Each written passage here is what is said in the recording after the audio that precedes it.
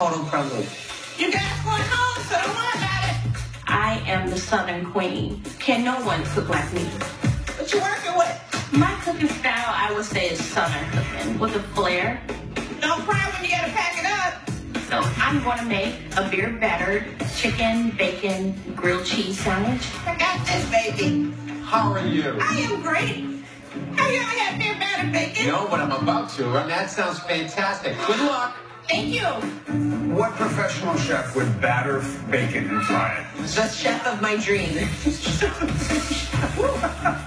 smell that good fried bacon? Can't go wrong, guys. I cook with so much love that when you eat my food, they'll be calling the paramedics. The heart will be racing. But I guarantee you it's the flavors that I'm bringing to that plate. You guys don't know what you're missing.